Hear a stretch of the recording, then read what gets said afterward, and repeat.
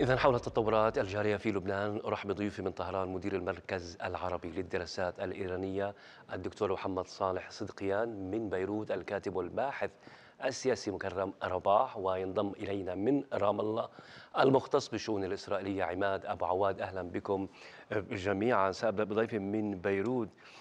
سيد مكرم هل تعتقد أن لبنان في ظل التصعيد غير المسبوق الجاري حاليا وكثافة الغارات الإسرائيلية والهجمات أمام مأزق قد يصعب حله قريبا؟ أول مساء الخير لحضرتك ولضيوفك الكرام. اولا هناك خيارا وحيدا أمام الدولة اللبنانية والشعب اللبناني ومن ضمنهم حزب الله إن أرادوا أن يبقوا من هذا الوطن. وهو الوقف الفوري لإطلاق النار وهذا شيء أساسي لاجل إنهاء حالة القتل والتشرد والتهجير الذي تحصل وهذا شيء للأسف لا يمكننا أن نساعد هؤلاء العالم ولا نبدأ بعملية إغاثة في ظل هذا الحرب المستمر. المشكلة الأساسية هنا بأن بالرغم من شدة الضربات العسكرية الإسرائيلية أعتقد بأن شراسة العمل العسكري هو بسبب التغطية الدولية لفكرة أساسية بأن نتنياهو يدعي بأنه يريد أن يعيد اهالي أهالي الشمال الاسرائيلي ولكن في الواقع إن المجتمع الدولي قد اتخذ قرار إلغاء حزب الله.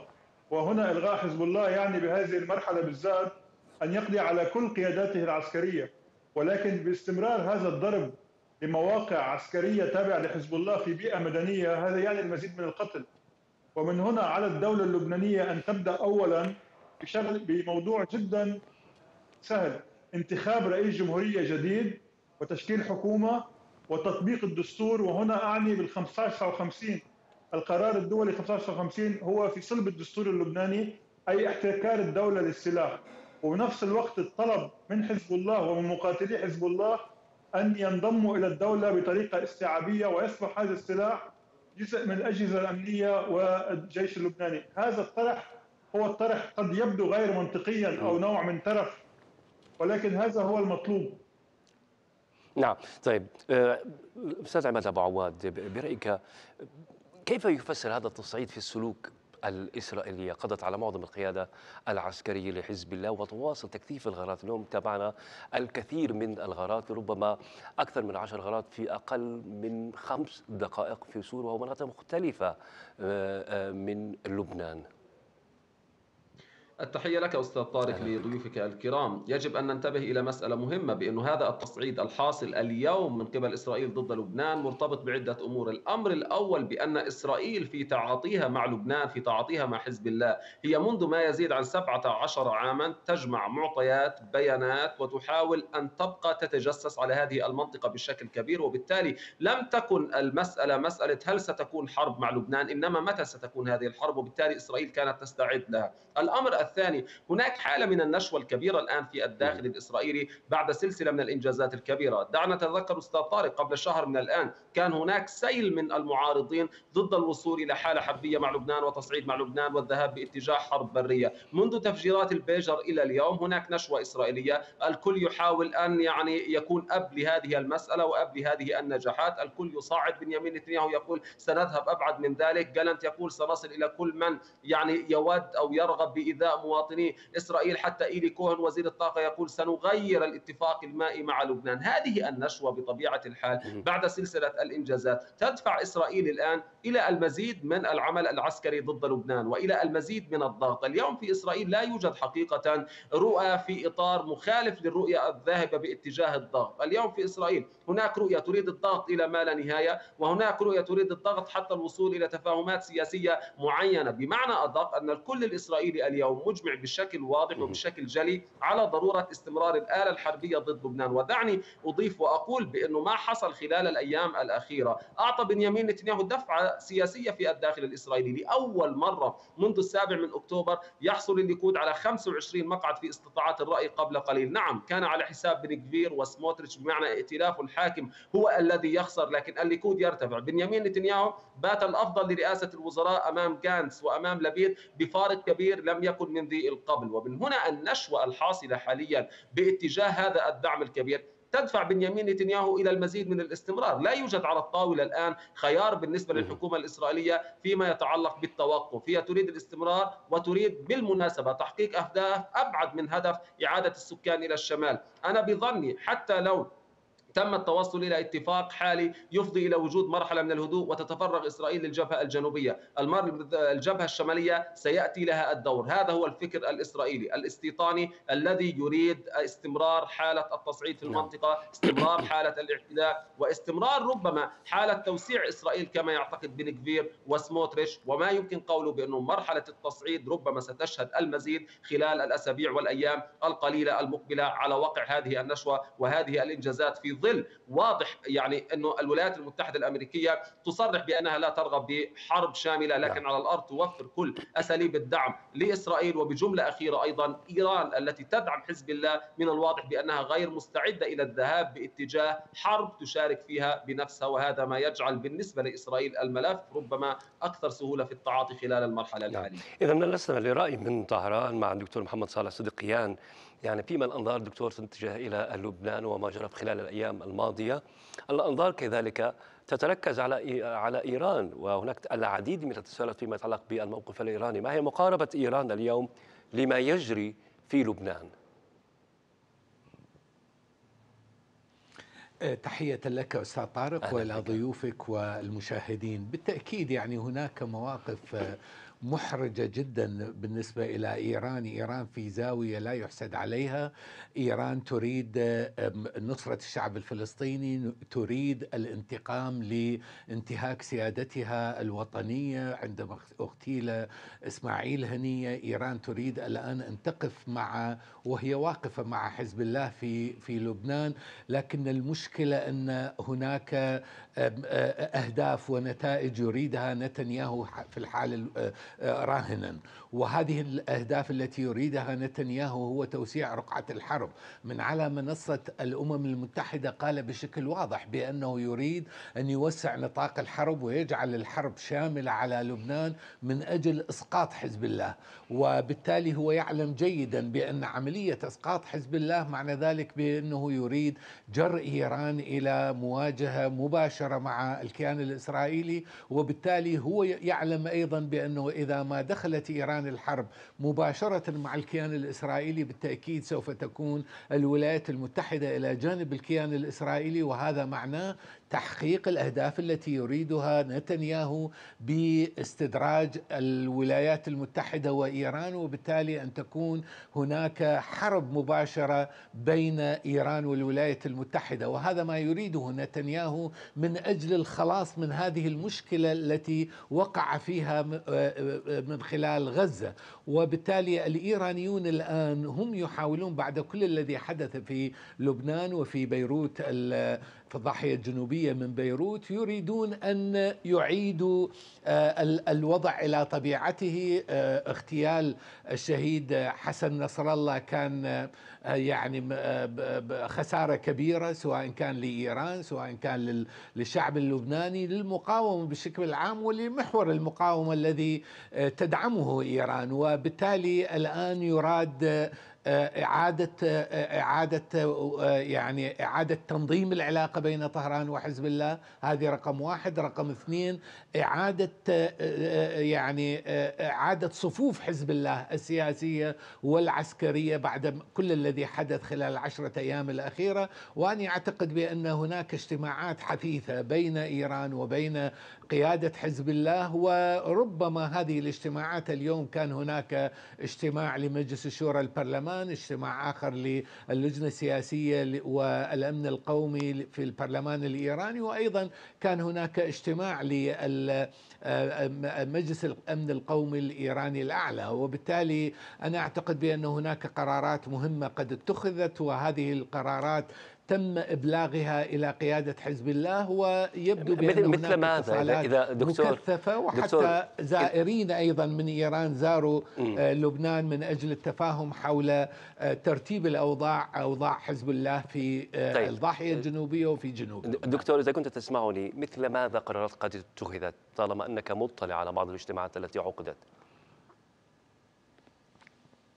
حقيقة الإيرانيون يستخدمون الآن قاعدة الغموض الاستراتيجي ولا يتحدثون عن المرحلة المقبلة ماذا يمكن لهم أن يفعلوا؟ لكن عندما نسألهم ما هي القرارات التي اتخذت يقولون بأن كل الإمكانات التي تمتلكها إيران وضعت تحت آه، آه، تحت قيادة حزب الله وهم آه، يعني حزب الله أو قيادة المركزية لحزب الله تستطيع أن تختار الآلية التي يمكن بها مساعدة حزب الله مساعدة الشعب اللبناني مساعدة النازحين ومساعدة هذه الأضرار الكبيرة التي ينفذها الكيان الإسرائيلي بقصف المدنيين وقصف البنايات السكنية وتهجير الآلاف من سكان الضاحية الجنوبية أو آه، سكان آه، جنوب لبنان.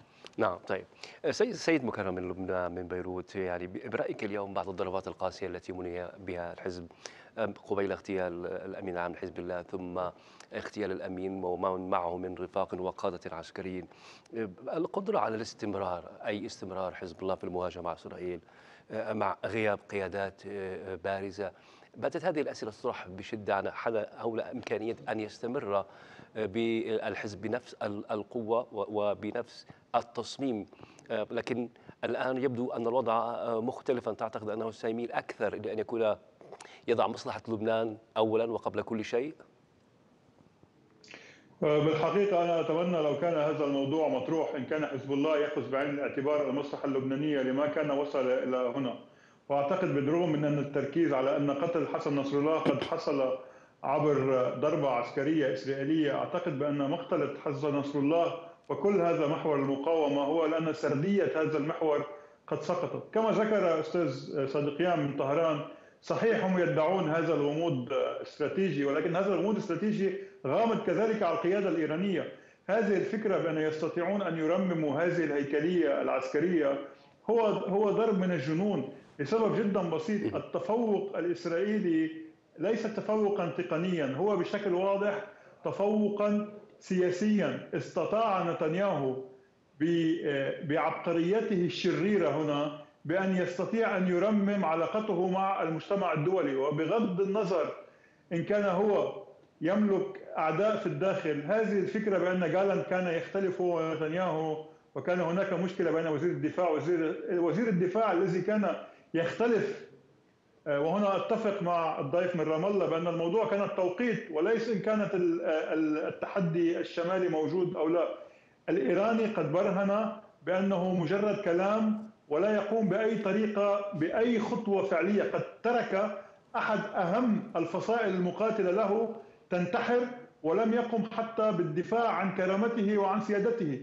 ما قام به بإطلاق نار وهذه المفرقعات التي أخذت أكثر من عشر ساعات لتصل إلى إلى فلسطين كانت وأوصلت الناس لأن يشكوا حتى بأن كان هناك مؤامرة وهذا شيء لا يستطيع أحد أن يردم هذه الهوة بين الشعب اللبناني الذي بطريقة من الطرق يعتبر بأن هناك نوع من مؤامرة بين الإيراني وبين حزب الله، أنا شخصيا لا أعتقد هذا الأمر لأن حزب الله ليس بحليفا للنظام الإيراني بل هو جزء أساسي من الحرس الثوري الإيراني وأن حسن نصر الله أهميته ليس بأنه قائدا لميليشيا لبنانيه هو يجلس بهذا المجلس الحرب الذي يتبع محور الممانعة. نعم طيب أستاذ عماد أبو عواد برأيك اليوم بعد تلك النشوة التي يشعر بها أو تشعر بها باسرائيل في ظل ما تحقق خلال الأيام الماضية ما يجري نقاشه بشأن العملية البرية؟ ستكتفي إسرائيل بتكثيف الضربات وملاحقة قادة حزب الله أم أنها ستذهب أعمق من ذلك باجتياح بري كما تقول عملية برية قد تكون محدودة؟ الموضوع مرتبط حقيقة بالتطورات أستاذ طارق على الأرض. تعودنا على إسرائيل بأنها أحيانا تضع أهداف بسيطة ثم تنتقل إلى أهداف أكبر ثم تخفي خططها الحقيقية لتصل إلى النتائج النهائية التي تريد الوصول إليها. إذا ما أخذنا على سبيل المثال ما حصل في قطاع غزة خلال الحرب هذه ماذا كانت أهداف إسرائيل؟ وكيف بدأت هذه الأهداف بالتحول وصولا إلى رغبة إسرائيل الآن باستمرار احتلال محور فيلادلفيا؟ كما يعني قالت وزيرة المواصلات اليوم ماري ريغب مستعدون لصفقة لكن غير مستعدين للانسحاب من محور فيلادلفيا. وبالتالي في الشمال إسرائيل بدأت من أجل إعادة سكان الشمال. عندما بدأت تنجح في سلسلة الاغتيالات وسلسلة ما قامت به بدأت تفكر جديا بتطوير هذه الأداب لكن دعنا نأخذ المسار الآخر بمعنى ردود الفعل التي ستأتي من لبنان. هناك قناعة إسرائيلية رغم الضربة القوية التي وجهت لحزب الله اغتيال تقريبا كل قيادته من الصف الأول اغتيال السيد حسن نصر الله الذي يعتبر بالنسبة لإسرائيل العدو اللدود الأهم. لكن هناك قناعة بأن الحزب سيقوم بردود وربما تكون ردود أكثر فاعلية خلال الأيام والأسابيع القليلة المقبلة. وبالمجمل ما يمكن قوله حزب الله لا يحتاج بالمناسبة إلى ربما يعني آلة ثقيلة من السلاح من أجل أن يمنع إعادة سكان الشمال. يكفي فقط استمرار هذه الحالة الاستنزافية واستمرار إطلاق الصواريخ بشكل أو بآخر على الشمال من أجل منع عودة السكان واستمرار الترابط مع قطاع غزة. لكن الإشكالية أن سلاح الجو الإسرائيلي خلال الفترة الأخيرة بدأ بسياسة الأرض المحروقة هجر ما يقارب مليون لبناني من الجنوب بدأ بقصف ممنهج وسياسة قصف السجادة المستخدم الآن في الجنوب اللبناني من أجل تدفيع الدولة اللبنانية الثمن الأكبر ومن أجل أن يدفع الحاضنة في لبنان أن ترفض وجود حزب الله وأن تتحمل هي الأعباء الكبيرة. من هنا ما يمكن قوله إلى الآن لا تزال الصورة ضبابية لكن بالنسبة لإسرائيل التصعيد خلال الأسبوعين القادمين هو سيد الموقف. ستشهد الأيام القليلة المقبلة المزيد من الاستهدافات المزيد من الاغتيالات ودعني أشير بأنه قبل قليل عندما يصرح جو بايدن بأنه سيتواصل مع بنيامين نتنياهو خلال الفترة المقبلة. ماذا يعني ذلك؟ يعني حتى التواصل من هنا إلى أن يتصل بايدن لبنيامين نتنياهو هناك ضوء أخضر للمزيد من هذا العمل. ودعني أضيف وأقول ردود الفعل من المجتمع الدولي كانت أقل من المتوقع بكثير. شعرت إسرائيل أن لديها حصانة دبلوماسية وأن لديها القدرة على الذهاب بعيدا في خططها في المنطقة. من هنا ما يمكن قوله كل السيناريوهات على الطاولة لكن على الأقل ما أرى وأقدر شخصيا بأن مناورة برية على الحدود اللبنانية ستكون خلال الفترة المقبلة. سيحاول الجيش الإسرائيلي الدخول ولو لبضع كيلو مترات في انتظار ماذا ستكون ردود الفعل وما هي النتائج على الأرض وإذا وجد بأن الأمور سلسة وبأن الدخول كان أسهل من المتوقع بظني أن إسرائيل ستذهب أبعد من ذلك نعم. بكثير وهذه التجربة حاضرة بين أعيننا من خلال ما قامت به إسرائيل في غزة. طيب دكتور محمد صالح صدقيان يعني منذ اغتيال أوائل القادة في حزب الله ثم اغتيال الأمين العام حسن نصر الله والضربات القاسية وما تتعرض له المدن والقرى اللبنانية يعني كانت هناك تعليقات ولا بد أنك في صورة هذه التعليقات بأن آه، إيران لو أنها قامت بالرد على اغتيال إسماعيل الهنية رئيس مكتب السياسي لحركة حماس لما تحولت الأمور إلى هذا التطورات غير آه، المسبوقة على صعيد جبهة جنوب لبنان آه، إيران في سبيل الحفاظ على مصالحها وفتح قنوات الاتصال مع الولايات المتحدة من أجل رفع العقوبات. يمكن لها أن تضحي بحزب الله. وأن البعض واسمح لي أن أقول ذلك لأن ذلك من بين التعليقات التي نتابعها أن إيران بصمتها وسكوتها قد باعت حزب الله وبالتالي سهلت لإسرائيل عمليات اغتيال قادة الحزب. حقيقة مثل هذه المعلومات وهي كثيرة في الساحة اللبنانية تحديدا وحتى في العراق أيضا موجودة مثل هذه التحليلات أو وجهات النظر. لكن الغريب بأن بيئة حزب الله والضاحية الجنوبية وكل البيئة الموجودة سواء كان في جنوب لبنان في الضاحية في البقاع في بعلبك الهرمل هذه البيئة تضغط على حزب الله لماذا لا تقصفوا آه، آه، العمق الإسرائيلي؟ وحتى الآن هناك ضغط كبير يواجه تواجه القيادة في حزب الله في لبنان أنه لماذا تدخرون الصواريخ في مخازن لكن أليس هو أليس هو ضغط إيراني في الوقت ذاته؟ أليس هو الضغط الإيراني بشكل محدد؟ نعم. الكلام الذي يقول بأن بأن إيران تركت حزب الله هم ليسوا بيئة حزب الله. هم أولئك الذين يعارضون أصلا حزب الله. يعارضون العلاقة الموجودة بين حزب الله وإيران. هؤلاء هم الذين يدفعون بمثل هذه المصطلحات وهذه الروايات. بالتأكيد يعني حزب الله عندما لم يستخدم هذه الصواريخ هو لم يريد التأثير على المدنيين في جنوب لبنان وفي آه، الضاحية الجنوبية من بيروت. وبالتالي الإيرانيون أيضا مقتنعين بأن هذا هذا الأمر هي قيادة حزب الله هي التي تقرر ذلك. هؤلاء لا يعرفون بالضبط أو يعرفون يريدون أن يقولوا شيئا آخر بأن العلاقة طبيعة العلاقة بين إيران وبين قيادة حزب الله هؤلاء لا يفهمون مثل هذه العلاقة. العلاقة هي لا تستطيع إيران بهذه البساطة ومن السذاجة والبساطة أن نفكر في يوم ما أن إيران تتخلى عن حزب الله أو لم تقف معه. في الحادث الذي الذي استشهد فيه حسن نصر الله كان هناك نائب القائد العام لفيلق القدس نيل فروشان. وبالتالي يعني هذا شخصية قيادية كبيرة في الحرس الثوري الإيراني. كان هو يجتمع بالشهيد حسن نصر الله ويقدم كل الإمكانيات التي تريدها تريدها المقاومة ويريدها حزب الله في في لبنان. لكن فيما يخص الرد الإيراني ولو كان الرد الإيراني قد حدث بعد اغتيال إسماعيل هنية أن يعتقد بأن الحساب الإيراني هو محرج حقيقة. يعني هو أراد أن ينتقم للسيادة الإيرانية لكنه اصطدم بكثير من العقبات والمحددات التي تتعلق بالتطورات في جنوب لبنان تتعلق بالتطورات في الداخل الإسرائيلي والأهم من كل ذلك التطورات في قطاع غزة لأن البؤرة الأساسية الموجودة حاليا هي قطاع غزة. الآن عندما آه، آه، آه، يرفع مثلا نبيه بري رئيس المجلس النيابي اللبناني ويقول بأن وقف اطلاق النار يجب أن يكون في جنوب لبنان وفي غزة وبالتالي هذين المنطقتين مترابطتين. هناك ربط ثالث الآن هو مطروح على الطاولة أن يكون هناك آه، وقف إطلاق النار في غزة ووقف إطلاق النار في جنوب لبنان وما لم يكن هذا وقف إطلاق النار لا يعود آه، السكان في الجليل الأعلى كما طالب به وكما يريد نتنياهو. أنا أعتقد بأن المرحلة المقبلة الأيام المقبلة الساعات المقبلة سوف تتغير فيه الكثير من المعادلات بناء على التطورات الجديدة التي حدثت بعد اغتيال الشهيد حسن نصر الله. طيب سيد مكرم يعني كنت تهز برأسك أثناء حديث الدكتور محمد صالح صدقيا. هذا يعني أن لديك ربما وجهة نظر مغايرة أو لديك تعليق. تفضل. أنا ليس لدي وجهة نظر مغايرة والصديق الدكتور صديقيان يعرف بأن اختلاف سياسي ولكن الوقائع تقول بأن هؤلاء الأشخاص الذين اتهموا إيران بالتخلي عن حزب الله هي بيئة حزب الله المباشرة.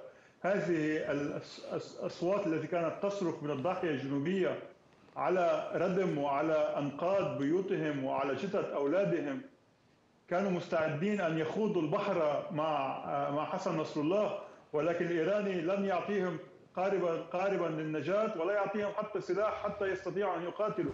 وهذا الكلام بأن بحوزة حزب الله سلاح هذا السلاح هو سلاح إيراني يقوم حزب الله بإطلاقه بناء لأوامر إيرانية واضحة. وهنا لا أنتقص من قيمة حزب الله عندما أقول بأنه يتبع بشكل مباشر للحرس الثوري الإيراني نحن نعرف تاريخ حزب الله ونعرف تكوينه. ويضاف إلى ذلك بشكل واضح.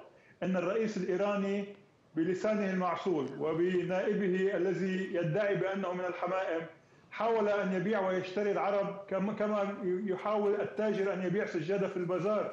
وكان واضحا وهذه إهانة للشعب الإيراني وإهانة لإيران. فهي تخلت عن الشعب اللبناني الذي تدعي بأنه صديق وهنا أعتقد هناك صداقة بين الشعبين. ولكن النظام في إيران لا ينظر إلى العرب وهم لم يأتوا إلى نصرة غزة ولا الشعب الفلسطيني بل تركونا تحت رحمة صواريخ نتنياهو والأسوأ من ذلك تحت رحمة صواريخ هذه الأيديولوجيا الذي لا تقدم ولا تؤخر في هذا الصراع. نعم.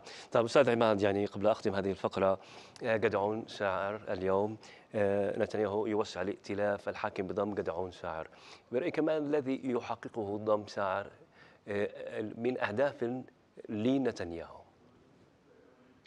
عدة نقاط. أولا ضمان استمرار هذه الحكومة حتى العام 2026 بمعنى لا انتخابات حتى ذلك التاريخ. الأمر الثاني هي ورقة حمراء أخرى للمعارضة الإسرائيلية التي بخسارة ساعر هي تخسر أربعة مقاعد. الأمر الثالث تقليل حالة الابتزاز في الساحة السياسية الداخلية الإسرائيلية للحكومة الإسرائيلية التي تعاني من ابتزاز دائم من قبل إيتمار بن كبير الذي بعد اليوم لن يعود يهدد هذه الحكومة كونه لن يستطيع إسقاطها علاوة وعلى ذلك. إظهار بنيامين نتنياهو على أنه سيد الأمن وسيد السياسة في إسرائيل. جدعون سعر الذي خرج قبل سنوات وحلف يمينا على الهواء مباشرة بأنه لن ينضم لأي حكومة يقودها بنيامين نتنياهو. يتراجع ويدخل حكومة بنيامين نتنياهو كوزير من دون حقيبة وبالتالي بنيامين نتنياهو بالفعل استطاع مع سحق سعر سحق الخصوم في الساحة السياسية الإسرائيلية بذكائه المعهود وقدرته وحقيقة طول نفسه في التعاطي السياسي وبالتالي حقق مجموعة من الضربات مجتمعة ليس أقلها القول بأن هذه الحكومة ستستمر بهدوء الآن